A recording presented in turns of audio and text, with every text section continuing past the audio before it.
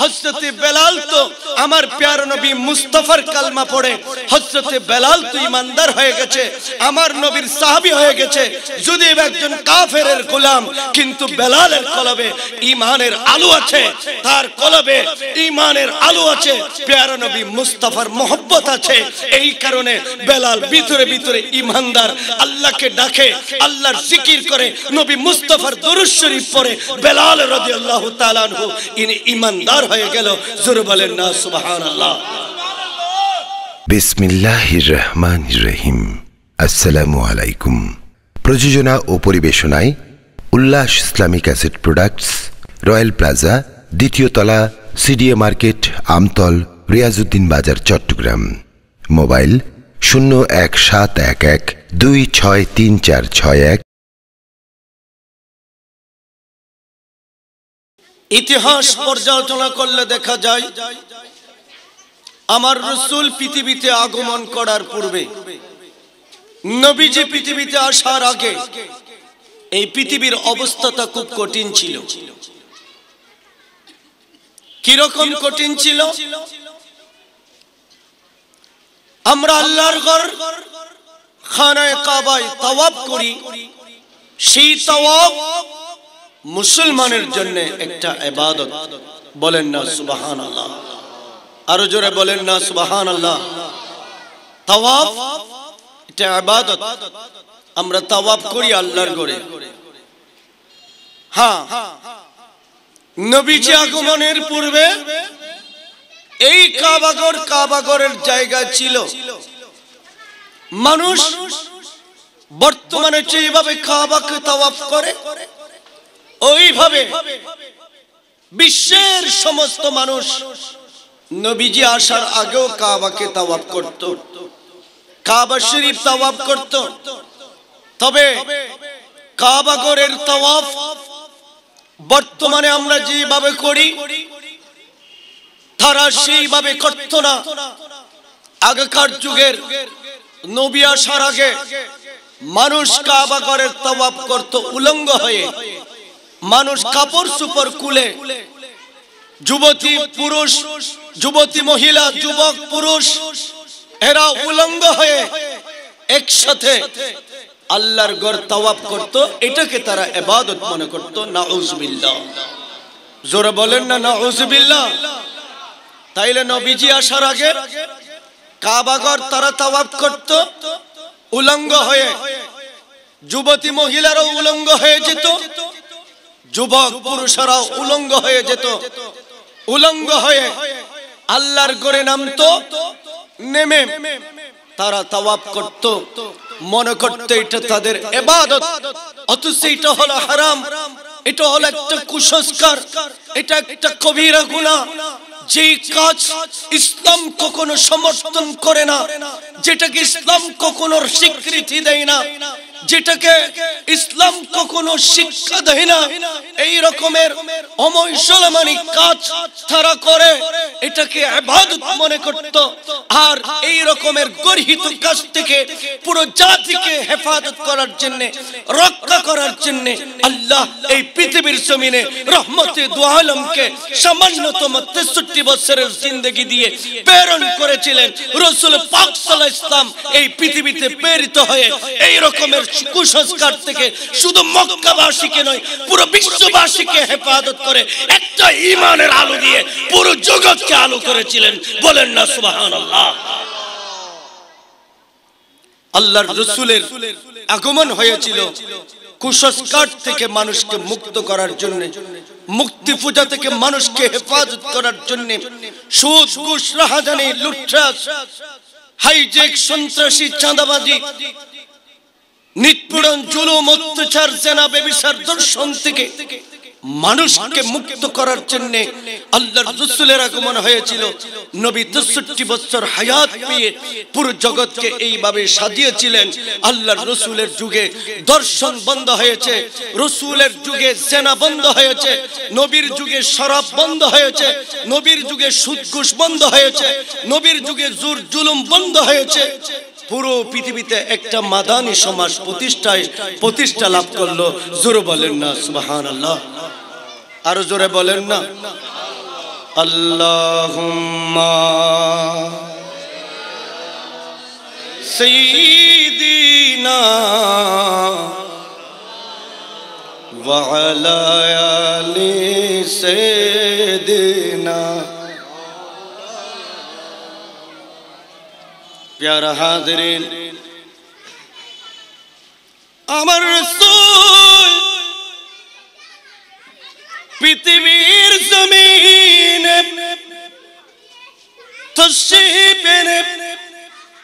যখন ইমানের প্রতি দুনিয়ার মানুষকে দাওয়াত দিচ্ছিলেন, আমার নবীর ইমানি কথায় রসুল পাখির আমার রসুলের ইমানি কথায় নুরানি কথায় মুগ্ধ হয়ে, খুশি হয়ে মক্কার বাঘ বাল্লু মক্কার কঙ্কর পাথর কণা মক্কার যুবতী মহিলা, পুরুষ, যুবক, প্রাপ্তবয়স্ক মানুষ নবীর কালমা পড়ে পড়ে আমার নবীর উপর ইমান এনে ইমানদার হয়ে যাচ্ছিল।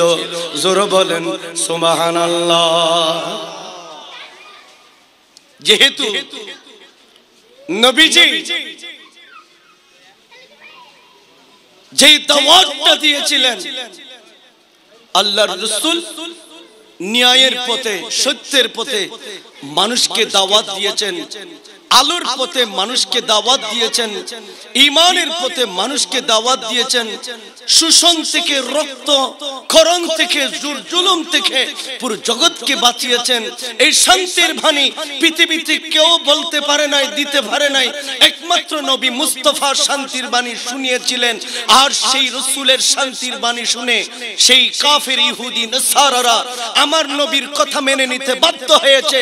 রসুল পাকের জবানে কালমা শরীফ পড়ে উনারা ইমানদার হয়ে গিয়েছিল। আরও জোরে বলেন না সুবাহান আল্লাহ এভাবে আল্লাহর রসুলের উপরে একজন মক্কার গোলাম, তার নাম হজরতে বেলাল হাবসি রদি আল্লাহ আনহু। উনি মক্কার গোলাম ছিলেন, সেই বেলাল হাবসি যদি বা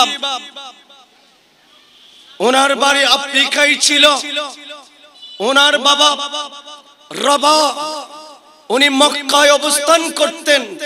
কিন্তু হজরতে বেলাল ইসলামের প্রথম মহাসিন যিনি সর্বকালে মদিনা শরীফে আসান দিয়েছিলেন, মক্কা শরীফে আসান দিয়েছিলেন ওই বেলাল রসুল পাকের ইমানি কণ্ঠে কথা শুনে, আমার নবীর দিয়া বাণী রসুল পাকের শান্তির বাণী শুনে, সেই বেলাল আমার রসুলের ধর্ম, রসুল পাকের দেয়া, সেই ইমান আল্লাহর রসুলের কাছে প্রেরিত কোরআন, এগুলির উপর ইমান এনে আমার পেয়ারা নবীর সাহাবি হওয়ার সৌভাগ্য অর্জন করেছে। আরও জোরে বলেন না সুবাহান আল্লাহ বেলাল যখন ইমান এনেছিলেন সে বেলাল, উমাইয়া বিন হলফ মক্কার বড় একজন জালেম, পয়সাওয়ালা মানুষ, কাফের ছিলেন। উমাইয়া বিন হলফ সেই উমাইয়া বিন হলফের কিনা গুলাম ছিলেন। আজকাল আমরা যারা পয়সাওয়ালারা আসছি, আমাদের ঘরে যেই সমস্ত চাকর চাকুরানি আছে, এদেরকে আমরা কিনতে পারি না। এরা বেতনের বিনিময়ে, মাসিক বেতনের বিনিময়ে আমাদের বাড়িতে চাকরি করে, যতদিন ইচ্ছা এরা চাকরি করে, আবার ইচ্ছা না হলে চাকরি ছেড়ে এরা চলে যেতে পারে। তবে হ্যাঁ আমার পেয়ারা নবী মুস্তফার যুগে চাকর চাকরানি বেচা কিনা হতো মক্কার বাজারে। বাঁধি গোলাম কৃতদাসের বাজার বসত।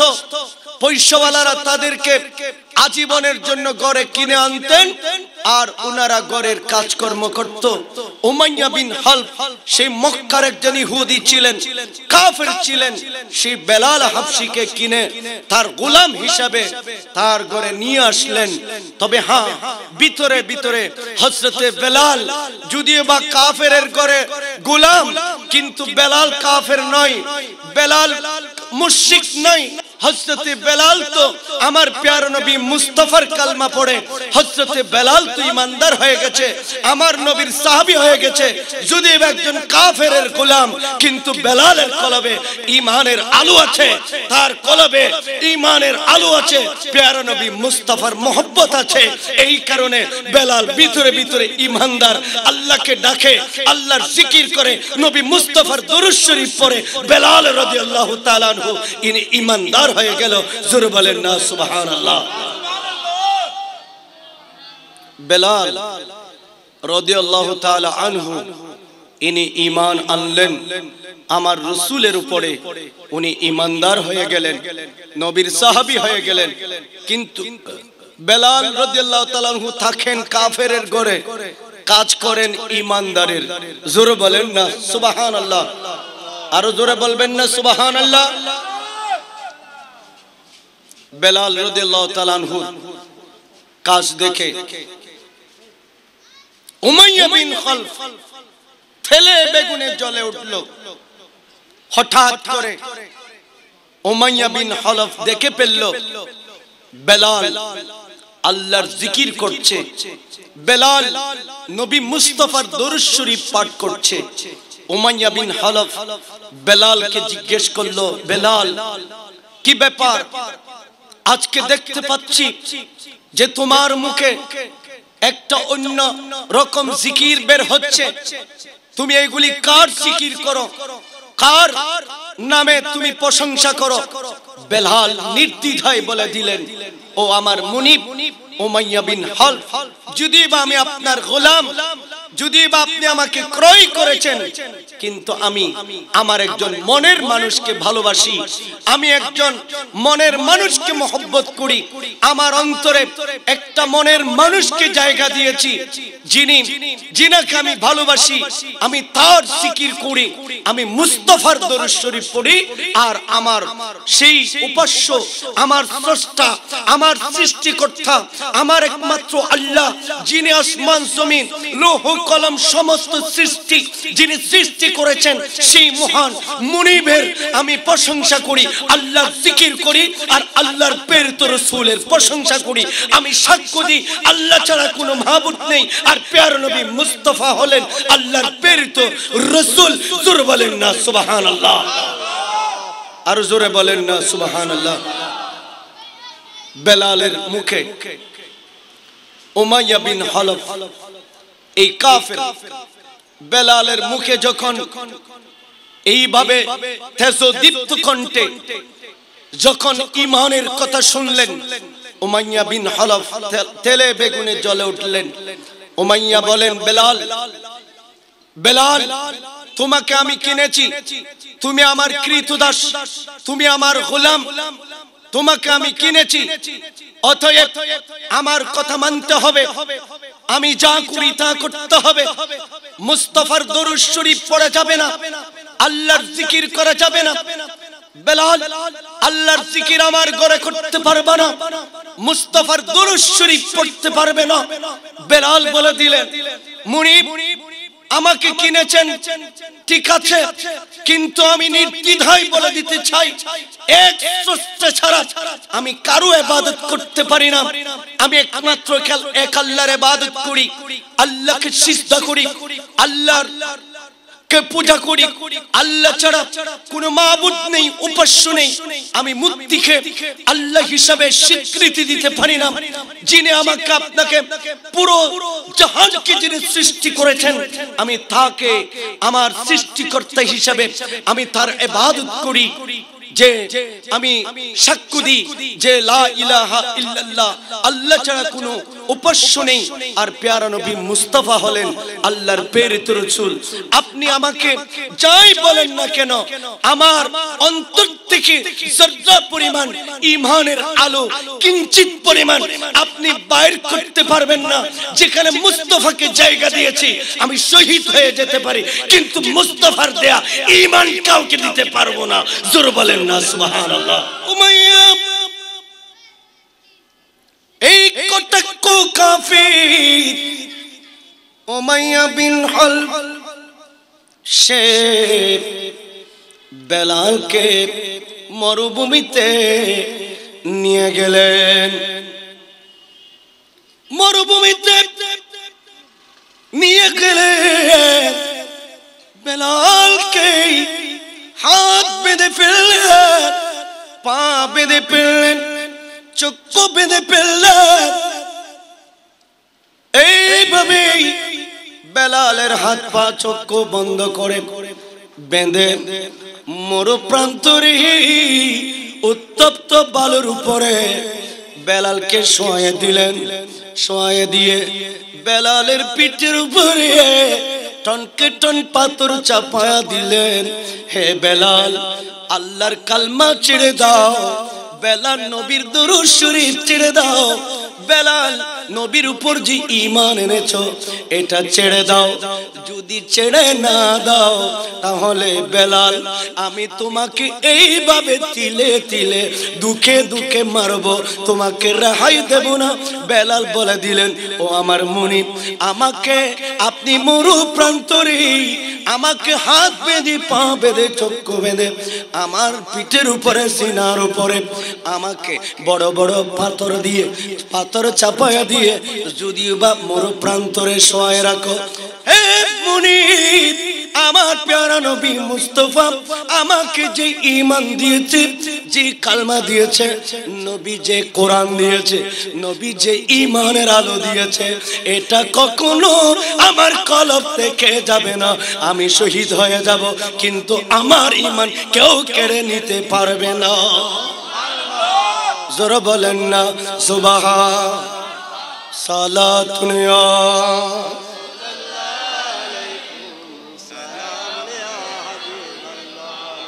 ہر حرق عشق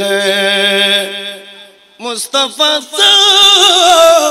مانے ہوس بہار بریدری گوشہ دا مانے ہوس سالات نیا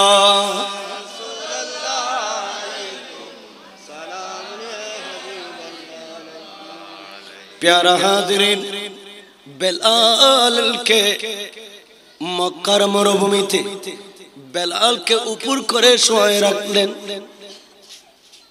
সমস্ত মক্কার বালু গরমে উত্তপ্ত হয়ে গেল মক্কার বালু গরম পানির চাইতে গরম হয়ে গেল বেলালের সমস্ত পিঠ বেলালের সমস্ত শরীর গরম লেগে, এভাবে গরম লেগে আগুনে যেভাবে মানুষ পুড়ে যায়। বেলাল ওইভাবে পুড়ে গিয়েছিল। তারপরও এত কষ্ট পাওয়ার পরেও বেলালের জবান থেকে একটা আওয়াজ বের হয়। আহাদ আহাদ, আল্লাহ এক মাবুদ গো, তুমি আমার উপর সন্তুষ্ট আছো কিনা? মাবুদ তুমি আমার উপর রাজি আছো কিনা? মাবুদ আমার মনে ও মাইয়া বিন হলফ, আমাকে কষ্ট দিক। আল্লাহ আমার সমস্ত শরীর জ্বরে পড়ে যাক। আল্লাহ কিছু আসে যায় না। আল্লাহ আমি জাহান নামের আগুন থেকে বাঁচতে চাই। আমাকে ধৈর্য ধারণ করার তৌফিক দাও। বেলাল এভাবে কেঁদে কেঁদে আল্লাহর দরবারে জিকির করতে থাকে। আর জোরে বলেন না, সুবহানাল্লাহ। একদিন বেলাল জিকির করতে আছেন মরুভূমিতে। আহাত আহাত করে জিকির করেন। আমার নবী মুস্তফার দরুদ শরীফ পড়ে। হঠাৎ করে সেই রাস্তা দিয়ে আমার নবীর সাহাবী সৈয়দনা আবু বকর রাদিয়াল্লাহু তাআলা হেঁটে যায়। আবু বকর সে রাস্তা দিয়ে যাচ্ছে। যাওয়ার সময়ে হঠাৎ করে কোন নাই, মানুষ নাই, কিচ্ছু নাই। মরু অন্তর, উত্তপ্ত গরম বালু, উত্তপ্ত গরম পাহাড়, পাথরের পাহাড়। ওইখান থেকে আল্লাহর তারিফ বেশে আসলো। নবী মুস্তফার দরুদ শরীফের আওয়াজ আসলো। হযরতে সিদ্দিক আকবর আস্ত করে দাঁড়ালেন। কি ব্যাপার কি ব্যাপার? হঠাৎ করে এখানে আমি কি দেখলাম? এখান থেকে আল্লাহর জিকির কুত থেকে বের হয়। নবী মুস্তফার দরুদ শরীফ কুত থেকে বের হয়। হঠাৎ করে দেখলেন হাত বাঁধা, পা বাঁধা বাঁধা এবং বেলালের উপর টনকে টন পাথর আছে। বেলাল দরবারে এমত অবস্থায় জিকির করছে। নবী মুস্তাফা দরুদ শরীফে রত আছে। সুবহান আরও জোরে বলেন না। এইভাবে যখন দেখলেন সিদ্দিক আকবরের মায়া এসে গেল, সিদ্দিক আকবরের দয়া এসে গেল, সিদ্দিক আকবর মক্কার বড় পয়সাওয়ালা মানুষ, সিদ্দিক আকবর মক্কার দয়ালু মানুষ। ইনি এমন একজন আমার পেয়ারা নবীর কলেজার টুকরো সাহাবি। মুসলমানের মধ্যে প্রথম মুসলমান। বন্ধুরা আমার আমার নবীর প্রথম সাহাবি সৈয়দনা সিদ্দিক আকবর। উনি বেলালের অবস্থা দেখে উনি ওইখান থেকে সিদ্দিক আকবর চলে চলে এসে উমাইয়া বিন হলবকে বলেন, ও উমাইয়া বিন হলব তুমি তো ইহুদি, তুমি তো কাফের, তুমি তো মুশরিক, কিন্তু তোমার ঘরে যে কৃতদাস আছে, এই কৃতদাস হলো মুসলমান। ইনি ইমানদার, ইনি মুস্তাফার সাহাবী। ও উমাইয়া বিন হলব তোমাকে একটা কথা জানান দিতে চাই। সেই কথাটা হলো, আমার ঘরে একটা কৃতদাস আছে, আমি হলাম মুসলমান, আমি মুস্তাফার সাহাবী, কিন্তু আমার কৃতদাস হলো কাফের, আমার কৃতদাস হলো ইহুদি। তুমি একটা কাজ করো, আমার ইহুদি গোলামটা তুমি নিয়ে নাও, আর ইমানদার গোলামটা আমার হাতে দিয়ে দাও, বেলালকে আমাকে দিয়ে দাও, আমার গোলামটা তুমি নিয়ে নাও। কিন্তু কোন অবস্থাতেই ও মাইয়া বিন হরব, কোন অবস্থাতেই তার কথা মেনে নেয় না। জোর বলেন, নাউজুবিল্লাহ। আরও জোর বলেন না, নাউজুবিল্লাহ। যখন মেনে নিচ্ছে না, সিদ্দিক আকবর, উনি আমার নবী মুস্তাফার দরবারে গেলেন, আমার প্যারা নবীর দরবারে গেলেন। এইরকম অবস্থা। নবী গো আপনার সাহাবী হযরতে বেলালের এই অবস্থা উমাইয়া বিন হরব বেলালকে এইভাবে নির্যাতন করছে। একটা মাত্র অপরাধ। বেলাল, তোমার অপরাধ কি? তোমার সিনায় পাকে টনকে টন পাথর দিল কেন? বেলাল, তোমার হাত পা বাঁধলো কেন? বেলাল, তোমার চক্ষু বাঁধলো কেন? বেলাল, তোমার উপরে অত্যাচার কেন? জুলুম কেন? বেলাল, তোমাকে এভাবে কষ্ট দিচ্ছে কেন? বেলাল বলে, আমি মুনিবের কাজ।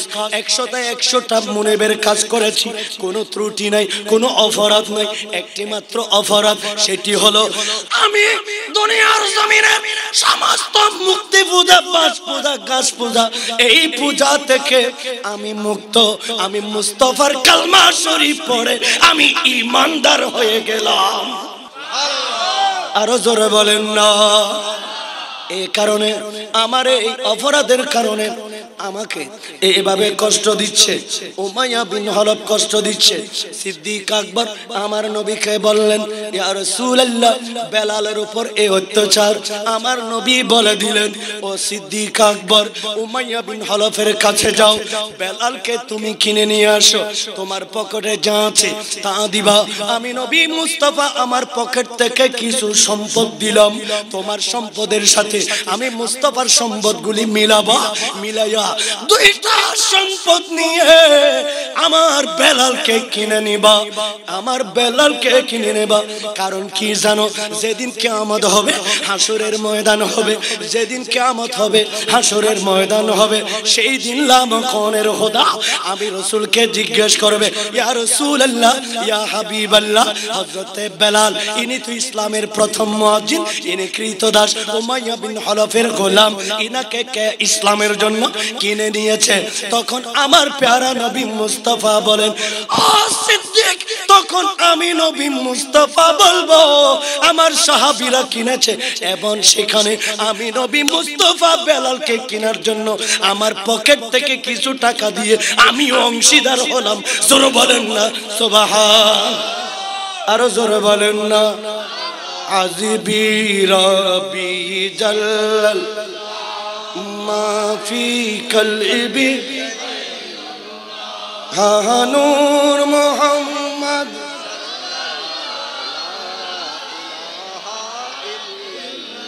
হাজিবি রবি জাল্লাল মাফি কলবি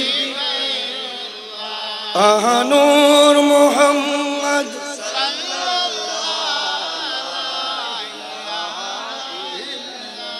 باغ تیبا میں سہانا پھول پھولا نور کا مسجد بو ہے بلبلی پڑتی ہے کلمہ نور کا نور محمد۔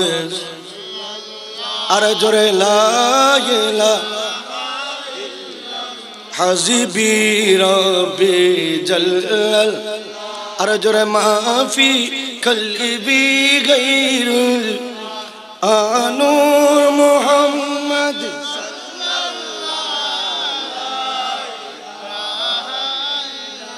یا رسول اللہ، یا حبیب اللہ، یا رسول اللہ یا یا رسول اللہ یا حبیب اللہ নবী আমি তোমায় না চিনিলে তোমার কি আসে যায় নবী আমি তোমায় না চিনিলে তোমার কে আসে যায় দোন জাহান তোমারি নৌরি চারণে ঝুকায় ইয়ার সোলাল আরে জোরে!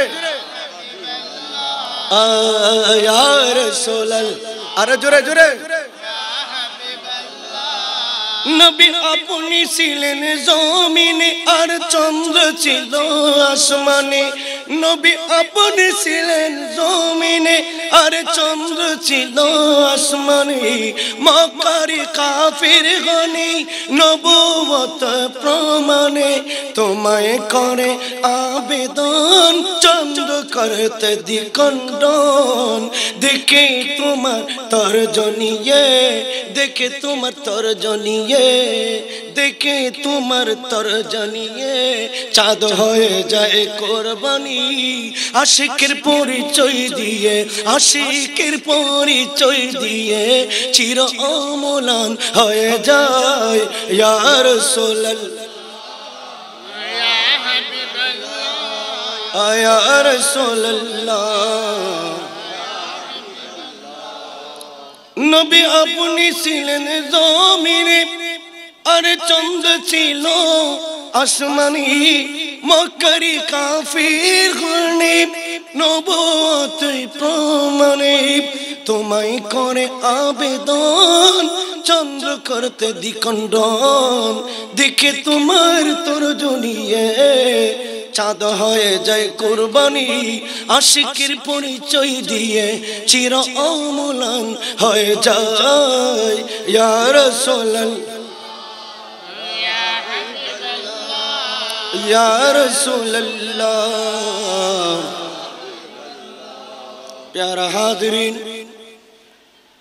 হজরত সিদ্দিক আকবর রাদিয়াল্লাহু তাআলা আনহু, ইনি শেষ পর্যন্ত বেলাল রদিলকে সিদ্দিক আকবর টাকার বস্তা দিয়ে সিদ্দিক আকবর, বেলাল রদিলকে ওমাইয়া বিন খলক থেকে কিনে নিলেন কিনে। সিদ্দিক আকবর হজরতে বেলাল রদিল্লাহ তালানহুকে আজাদ করে দিলেন। এ বেলাল, এতদিন পর্যন্ত তুমি উমাইয়া বিন হরফের গোলাম ছিলা। ও বেলাল, তুমি উমাইয়া বিন হলফের গোলাম ছিল।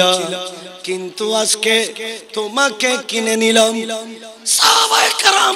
টাকা দিয়েছে তোমাকে কেনার জন্য। আমার প্যারা নবী মুস্তফা তোমাকে কেনার জন্য টাকা দিয়েছে।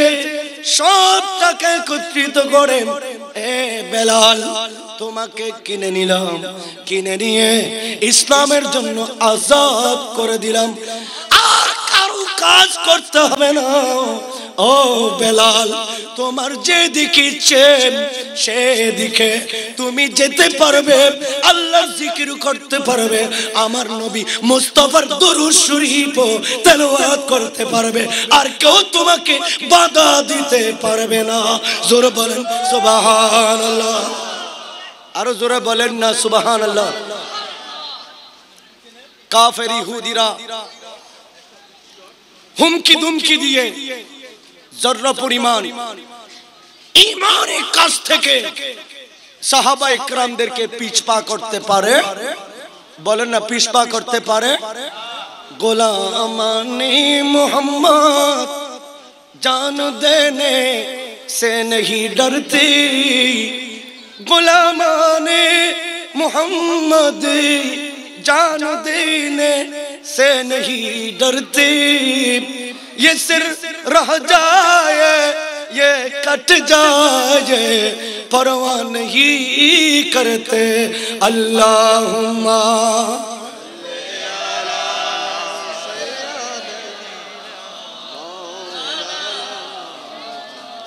وعلا آلے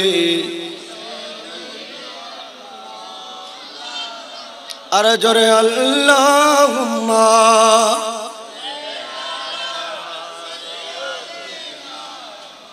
মালানা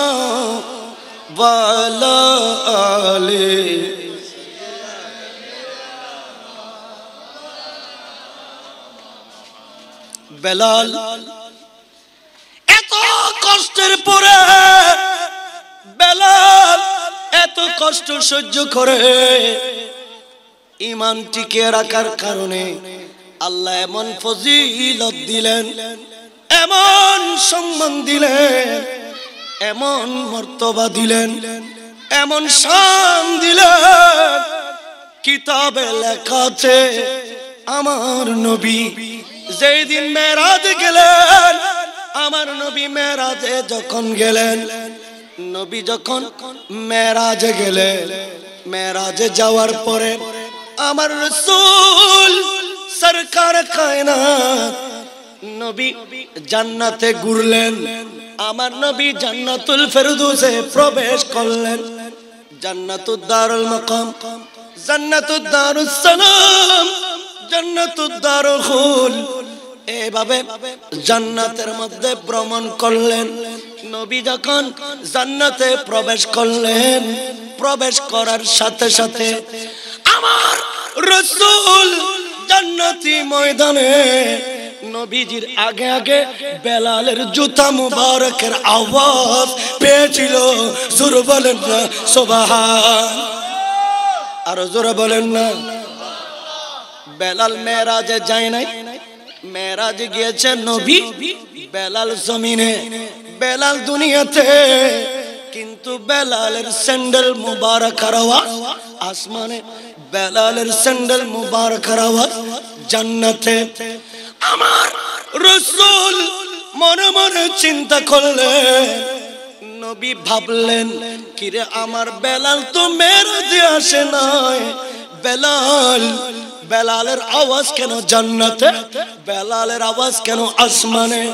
আমার প্যারা নবী মেরাজ শরীফ থেকে দুনিয়াতে আসার পরে বেলালকে ডাকলেন, ও বেলাল তোমার কাছে জানতে চায়, তোমার কাছে জানতে চায়। আমি নবী যেই দিন মেরাজ গেলাম মেরাজের জমিনে, জান্নাতি ময়দানে, আমি আর সওয়াজমে বেলাল তোমার স্যান্ডেল মুবারকার আওয়াজ পেয়েছি। তুমি তো দুনিয়াতে তোমার স্যান্ডেলের আওয়াজ আর সওয়াজমে তোমার স্যান্ডেল মুবারকার আওয়াজ, জান্নাতি ময়দানে ব্যাপারটা কি? বেলাল কেঁদে দিলে ইয়া আমি এই রকমের মকাম এই রকমের আজমত সম্মান পাওয়ার মতো আমি কোনো কাজ করতে পারি নাই। রসুল, আমি প্রতিদিন একটা ছোট্ট কাজ, আমি ছোট্ট একটা কাজ করি, সেটি হলো নবীজি, আমি প্রতিদিন উজু করার পরে, নবী উজু করার পরে আমি ফজরের নামাজ রুজু করলাম, জোহরের নামাজ রুজু করলাম আসরের নামাজ রুজু করলাম, মাগরিবের নামাজ রুজু করলাম, এশার নামাজ রুজু করলাম তাজ্জুদের নামাজ রুজু করলাম, নফল নামাজ রুজু করলাম। উজু করার পরে আমি নামাজ পড়ার আগে দুই রাকাত উজুর নফল নামাজ আদায় করতাম। জোর বলেন, সুবহান। আরও জোরে বলেন না। ইয়া রাসূলুল্লাহ আমি তো এই রকমের কোনো বড় আমল করতে পারি নাই। তবে হ্যাঁ আমি যখন উজু করি, ফজরের উজু করলাম। ফজরের নামাজ এখনও পড়ি নাই। উজু করে আমি মসজিদে গিয়ে দাঁড়িয়ে দুই রাকাত উজুর নামাজ আদায় করি। তাহাইতুল উজু। এই উজুর নামাজ আমি ফজরে আদায় করেছি। উজু করার পরে জুহুরের নামাজের ওয়াক্তে দুই রাকাত উজুর নামাজ আদায় করেছি। আসরের নামাজের যখন আসান দিয়েছে, আমি উজু করে প্রথমে দুই রাকাত উজুর নামাজ আদায় করেছি। মাগরিবের নামাজের সময় দুই রাকাত উজুর নামাজ আদায় করেছি। এশার নামাজের সময় দুই রাকাত উজুর নামাজ আদায় করেছি। ইয়া রাসূলুল্লাহ যতবার নফল ইবাদত করি উজু করার পরে দুই রাকাত আমি উজুর নামাজ আদায় করি। আল্লাহ এই দুই রাকাত নামাজের বিনিময়ে আমাকে এমন সম্মান ইজ্জত দিয়েছে। আমি থাকি দুনিয়াতে আর আপনি আর সোয়াজিবে আমি বেলালের সিঙ্গেল মুবারকের আওয়াজ শুনতে পেয়েছেন। জোরে বলেন না সুবহানাল্লাহ। আল্লাহ। ইয়া রাসূলুল্লাহ